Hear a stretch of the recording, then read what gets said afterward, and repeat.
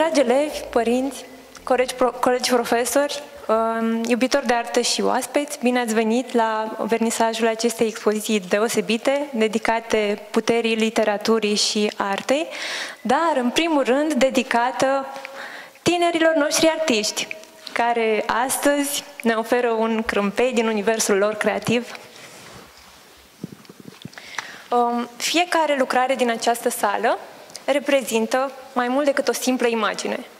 Reprezintă un gând, un sentiment, o amintire, fiecare transpusă în viziunea elevilor. Am să încep cu o întrebare. Când ați citit ultima oară o carte care să vă placă cu adevărat? O carte care să vă provoace să gândiți diferit sau care v-a trezit o idee?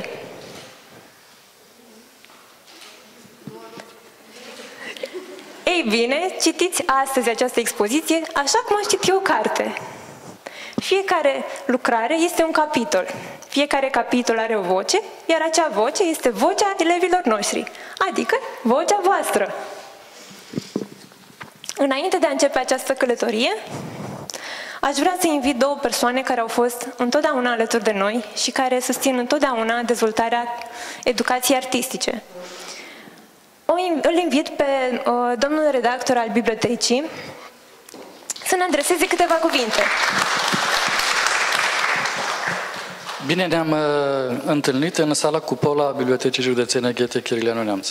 Înainte de toate, vreau să vă transmit salutul uh, doamnei profesoare Mihaela Mereuță, managerul uh, acestei instituții, și să vă felicit că uh, sunteți parte a unei colaborări uh, dintre cele mai frumoase. Cred că este cea mai amplă totuși, adică nu printre altele, pe care Biblioteca Județeană le are cu vreo instituție de învățământ. În primul rând, cred, sala Cupola este foarte apreciată de cei de la muzică.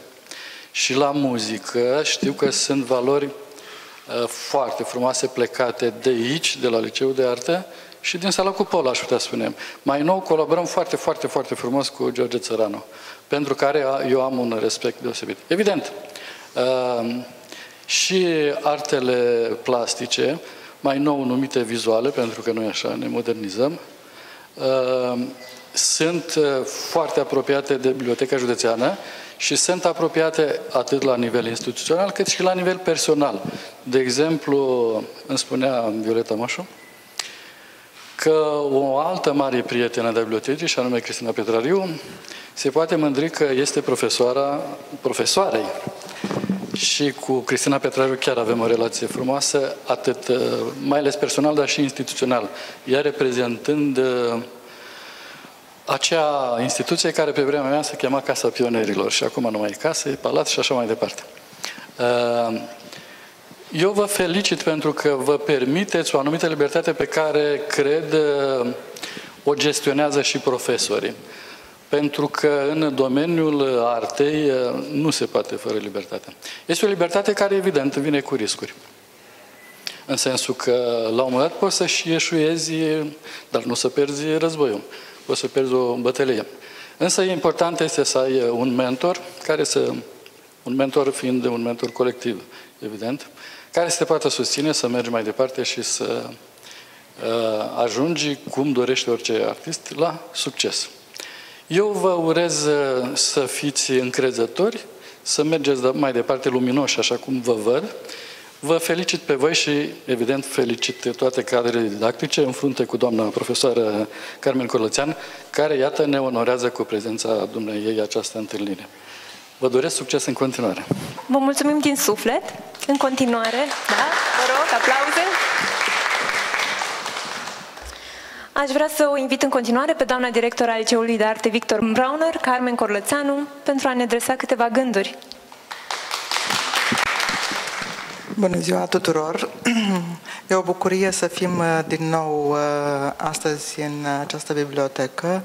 Uh, partenerul nostru consecvent, constant și atât de binevoitor Uh, de fiecare dată, așa cum s-a menționat și uh, anterior și mulțumiri adresez și doamnei director Mihaela Mereuță, care este extraordinar de receptivă tuturor propunerilor noastre de activități.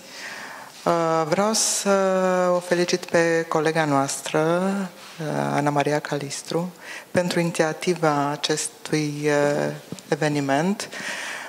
Suntem bucuroși că este, face parte din colectivul nostru de anul trecut. E o prezență tonică, vine cu o energie nouă, este plină de entuziasm și optimist. Și după cum zâmbiți, se pare că și voi simțiți la fel. Propune proiecte foarte frumoase, viabile. Mai nou am început să căm împreună și la proiecte Erasmus, ceea ce nu e chiar atât de ușor. Și ca o curiozitate, a luat nota 10 la examenul de definitivat. Spun curiozitate pentru că se întâmplă foarte, foarte rar. Iată de ce consider că toate aceste competențe, să zicem, pe care le are, o fac să reușească să vă insufle vouă dorința de, de a lucra și de a realiza activități foarte frumoase de câte ori este cazul. Acum, în ceea ce vă privește pe voi, felicitări că ați reușit să vă mobilizați. Se pare că v-a transmis ce era de transmis în așa fel încât ați lucrat și pe perioada vacanței. Este evident că aceste lucrări nu sunt făcute de voi în cele două săptămâni de când a început școala. Așa încât felicitări pentru talent, pentru efort și pentru implicare și mai mult felicitări și părinților care sigur vă susțin în tot acest efort. Iar în cele ce urmează vă invit să dați curs invitației la lectură pe care o propune tema expoziției. Mulțumesc și felicitări! Vă mulțumim tare mult pentru susținere și personal vă mulțumesc pentru buna primire în cadrul Liceului de Arte. Și am dorit să vă surprindem că aceste lucrări sunt făcute anul acesta, școlar. și pentru asta îi felicit pe elevi, că s-au mobilizat foarte bine. um, și uh, în continuare aș vrea să vă conduc într-o călătorie, să vă prezint fiecare artist și opera sa, Um, vom începe cu clasa 10 -a. Expoziția noastră începe din partea aceea, așa că o mică, ca o mică prezentare, uh, tinerii de la clasa 10 au dat dovadă de o curiozitate admirabilă, um, au descoperit arta cu determinare și explorează temele cu seriozitate, trăindu-le de fiecare dată prin prisma, trecându-le de fiecare dată prin prisma emoțiilor personale, Uh, deși par introvertiți la exterior, uh, lumea lor interioară este de o complexitate și o profunzime remarcabilă. Vă felicit! Uh, iar primul artist, îl avem în partea aceea, este Gheorghiță Luca. Culorile pe care le-a folosit sugerează un contrast puternic între realitate și ficțiune, un fel de evadare prin lectură. Gheorghiță, îți înmânez diploma. Felicitări! Ridică-te un pic în picioare să te vadă sala, nu? Să știm pe cine aplaudăm.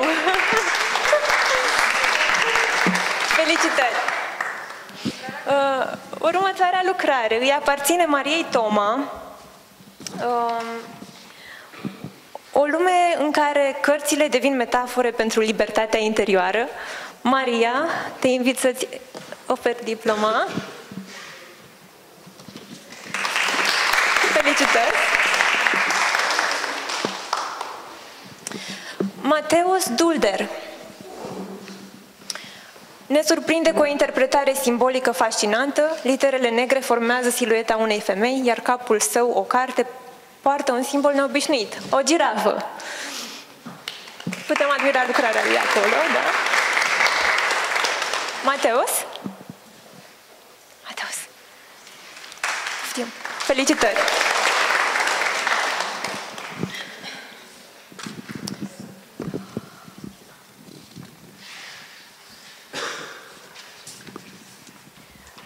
În continuare îl prezint pe Eduardo Lefter, care ne aduce o lucrare introspectivă despre trecerea timpului și legătura dintre trecut și prezent. Eduardo. Felicitări.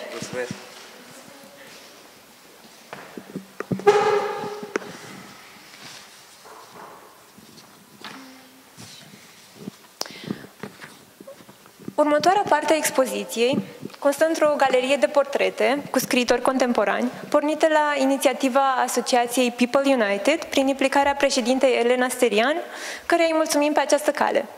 Uh, ca să ne amintim importanța lecturii și autorilor contemporani în viața noastră, am invitat astăzi o profesoară deosebită care inspiră pe elevii ei de la uh, Școala Gimnazială Săvinești să citească. Um, vă rog să o întâmpinăm cu aplauze pe minunata Mihaela Paraschivei. Mulțumesc. Uh, sunt cuvinte onorante. Voi face o referire și la omul Ana Maria Lemnaru, că eu așa am cunoscut-o, Ana Maria Calistru. Am uh, întâlnit-o tot prin intermediul cărții, când uh, am participat la lansarea volumului În gura Marelui Urs și atunci, bineînțeles, a avut și o galerie, o expoziție cu ilustrațiile din volumul respectiv. Așa că tot ca urmare a unei cărți ne-am întâlnit, am fost uh, fascinată de talentul și de dorința ei de a cunoaște Așadar, cartea clar este un uh, motiv de cunoaștere, dar mai ales de autocunoaștere și așa, aruncând o privire, eu nu sunt uh, cunoscătoare, profesionistă în ale artei, dar se vede o temă a autocunoașterii, a găsirii propriei identități. Și cred că lectura este o cale să ajungem pe lângă uh, introspectivă, pe lângă forma de reflexie. E adevărat, uh, Ana mi-a zis de aceste portrete ale scriitorilor contemporani, mi se pare un uh, demers foarte, foarte important pentru tineri și nu numai, poate și pentru părinți, poate pentru cei din societate să intre în uh, legătură cu personalitățile care aduc cărțile în fața elevilor. De cele mai multe ori ne trezim ca profesori că elevii nu cunosc scritori contemporani, că sunt uimiți că ei trăiesc printre noi, se mișcă, că au propria sa viață, propriile lor vieți și atunci, clar, cumva încercăm să um, le aducem în atenție aceste personalități care pot fi exemple de perseverență, uh, un cumul de valori pe care ei și le pot însuși sau le pot până la urmă studia pentru propria formare. O parte dintre acești scriitori pe care îi vedeți sunt uh, incluși chiar și în manualele alternative de gimnaziu. E adevărat, uh, aici să spunem, suntem puțin mai câștigați pentru că odată cu schimbarea programei s-a făcut acest pas către scriitorii contemporani. Uh, o studiem pe Lavinia Braniște la clasa 6, dar ca text, nu ca tip de scritură sau ca um, opere, ca etape de creație. Uh, Mircea Cărtărescu a avut, uh, cred că printre primele texte în uh, manualele de gimnaziu și cred că unii dintre voi l-au și descoperit atunci. Bineînțeles, Ioana Prăvulescu, mai uh, de anul trecut chiar și Radu Paraschivescu, deci iată este o dorință de a aduce cât mai multe texte ale scriitorilor contemporani. Și nu în ultimul rând avem și alături de noi aici pe plan local uh, scriitori pe care putem foarte bine să interacționăm. Și voi sunteți câștigați că aveți și la, la liceu clar este un mod de a privi și cartea, pentru că asta trebuie să primeze uh, valoarea artistică, estetică a cărții, dar dincolo de aceasta, o carte e scrisă de o personalitate și e interesant să vedem relația dintre personalitate și uh, rezultat. De aceea, pe de o parte, uh, a vă întâlni, a descoperi scriitorii este o cale, Uh, o alta este a lecturii, o combinație între cele două cred că e cea mai reușită pentru voi și pentru formarea voastră. Vă felicit, sunt foarte frumoase, uh, sunt impresionată și de simbolistică și de culori. Și în ultimul rând uh, chiar mă bucur că din scriitoare, ilustratoare Ana Maria a intrat pe acest râm al relației dintre maestru și ucenică, are ce transmite și cred că este omul potrivit la locul potrivit, așa că profitați și aveți cu cine să colaborați. Vă felicit și o felicit și pe doamna profesor. Mulțumesc tare mult pentru încredere și sunt sigură că această carieră de profesor nu știu, va nu știu, voi simți cu adevărat că sunt așa mai bună, mai încolo. Dar uh, vă mulțumesc tare mult. Uh, am uitat în uh, emoțiile pe care le-am avut să vă ofer un mic dar. Doamna director, făcut de elevii noștri. Vă mulțumim tare mult! Mihaela, mulțumim tare mult! Vreau să vă zic că la Liceul de Artă profesorii își susțin elevii și elevii își susțin profesorii. Și aș vrea să-i mulțumesc domnului profesor Adrian Romila că ne susține chiar la modul cel mai concret, a venit cu mare drag să ne pozeze în atelier în, într-una dintre zile și astăzi avem onoarea de a avea inclusiv în expoziție. Um, am declinat uh, invitația Anei de a vorbi la expoziție în, pentru că sunt foarte, foarte aglomerat și simțeam că n-am destul energie și destul elan ca să pot să vernisez. Colega mea Mihaela a făcut-o mult mai bine. Totuși sunt, uh, simt nevoia să spun câteva cuvinte. Um, prezența mea aici e foarte ciudată, foarte interesantă. Odată pentru că sunt profesorul de literatură română al tuturor celor care au realizat tablourile, deci cumva sunt cel mai apropiat de obiectul carte, sunt cel responsabil de transmiterea um, acestor valori, deci n-aveam cum să lipsesc. A doua oară am descoperit acum asta, sunt prezent aici în calitate de personaj. Pentru că am văzut că m-au inclus și pe mine uh, și ca portret și cu una dintre cărți uh, în uh, lucrările lor. Deci cumva sunt într-o, într-o dublă postură. Bine, pot să adaug că sunt foarte bun și foarte apropiat de, de Ana, sunt foarte apropiat și de ei și, în general, frecventez, atunci când cunosc foarte bine uh, protagoniștii, frecventez evenimentele uh, plastice din, uh, din piatră. Nu știam ce o să găsesc aici. Când am acceptat invitația, afișul nu este foarte relevant. Eu asta am primit pe, pe WhatsApp și am zis să vedem ce, ce mă așteaptă. Sunt, dacă aș spune că sunt plăcut surprins, ar fi puțin. Sunt foarte, foarte entuziasmat. În primul rând pentru că sunt uh, lucrări multe, o expoziție consistentă. A doua oară pentru că sunt foarte diverse. Sunt și în uh, creion, sunt și în culoare, da, sunt și uh, aproape de înrămare, sunt și puse doar pe un paspartu. Uh, e, e o diversitate benefică pentru, pentru expoziție. Și apoi uh, mărturisesc că am descoperit posturi foarte interesante în lucrări. Cartea Obiect, cartea Corp, cartea Minte, uh, posturi boeme, mă refer de pildă la partea aceea, da, mă uit la David, da, cum, uh, cum stă acolo lângă carte, dar și la, la, la celelalte de, de acolo și îmi dau seama, probabil că e normal să fie așa, că ei sunt mult mai apropiați de carte prin lucrări, prin lucrări despre carte decât prin lectură. Asta așa ca, să, ca să-i și trag de urechi un pic. Uh, și sper ca um, această expoziție să fie o ocazie de um, a se apropia mai, uh, mai mult de, de carte uh, și eu și colegii mei facem toate eforturile, dar inevitabil timpul lor este limitat și cumva e firesc să fie dedicat mai degrabă plasticii decât, uh, decât cititului.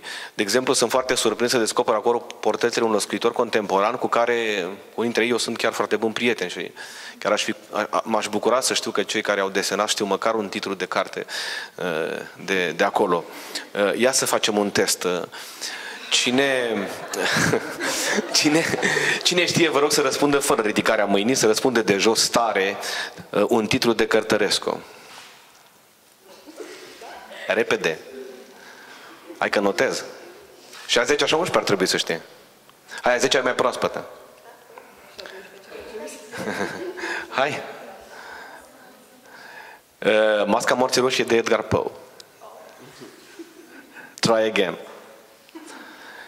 Am făcut o povestire între a noua de Cărtărescu și v-am spus foarte mult pentru că e unul din, din scriitorii mei preferați, povestirea aceea cu jocul cu... Ru... Ia auzi. Cine știe? Ruletistul. Bine, Eduardo. Un punct în plus. Ruletistul. Bun. Da, se puteau și, și altele.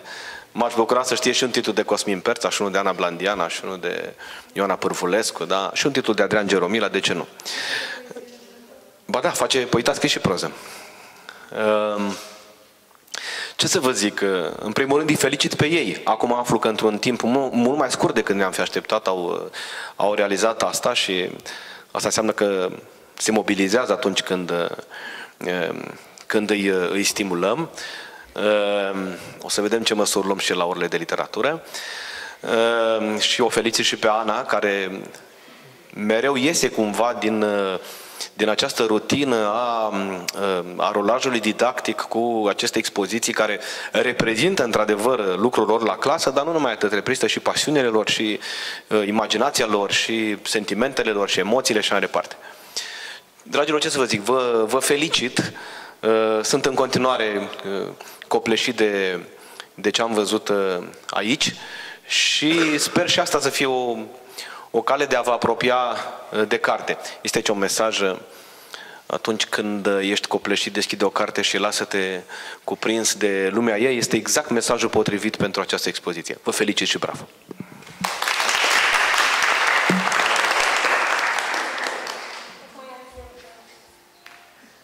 Mulțumesc tare mult, Adrian.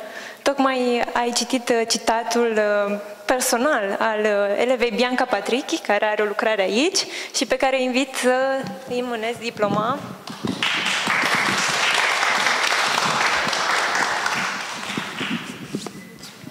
Cu mare drag.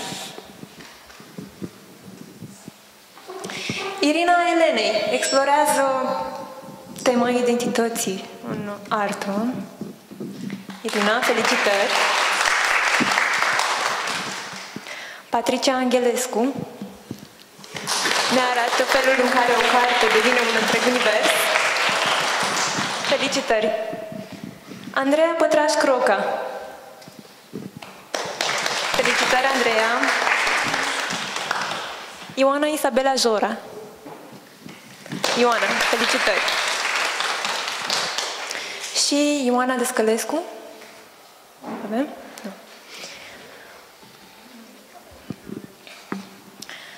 Și așa continuăm călătoria noastră, ajungând la clasa 12 -a. Aș vrea să ne oprim pentru un moment în fața unui tablou care nu există. Este cel de lângă noi, de aici. Este cea mai valoroasă lucrare din această expoziție și, în același timp, cea mai greu de privit. Aici avem o ramă goală. În această ramă, fiecare dintre noi să așeze un gând pentru Sara și pentru familia ei îndurerată, o artistă de-a noastră care, din păcate, nu mai este printre noi. Fiecare gând, fiecare urare de liniște, de mângâiere pentru familia lui ei, este o parte din această lucrare invizibilă, dar atât de reală în sufletele noastre. Sara a fost cu noi a creat alături de noi. Ne-am fi dorit să fie aici astăzi, dar drumul nostru a fost diferit. Vă rog, țineți-l de mână pe cel de lângă voi și bucurați-vă de acest moment, pentru că suntem împreună. Privind aceste tablouri, vedem mai mult decât niște simple imagini. Vedem viață, vedem creație. Ele rămân peste timp, și sunt mărturia faptului că noi existăm. Că am lăsat o urmă. Artistii, artiștii creează lumi noi și prin puterea lor creatoare se aseamănă lui Dumnezeu. Suntem recunoscători pentru timpul în care am avut-o pe seara, am cunoscut-o, am învățat unii de la alții și împreună.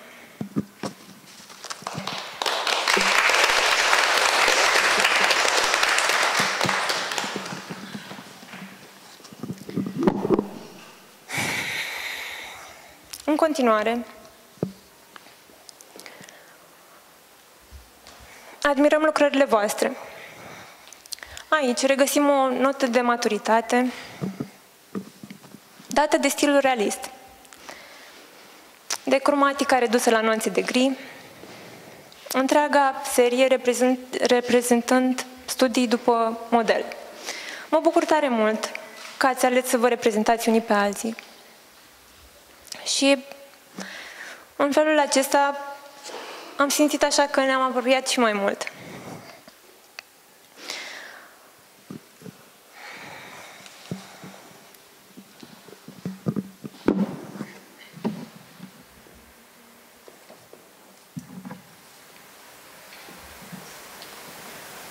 Fără altă descriere, vă ofer diplomele celor de la clasa 12 Vă felicit, aveți un an în față care se anunță foarte încărcat și plin de speranțe și muncă și, eu zic, și reușite. Leonardo Popa.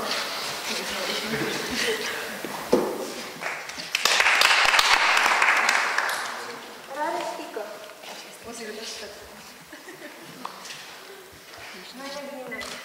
Bianca Mihaela Obreza. Gabriela Burlacă. David Ioan Timașu. Ștefan Veleanu. Ioana Constantin. Elmar Longobardu. Iulia Maria Sandu.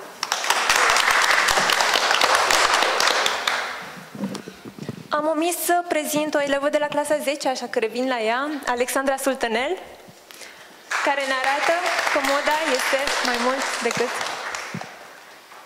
o carte. Așa.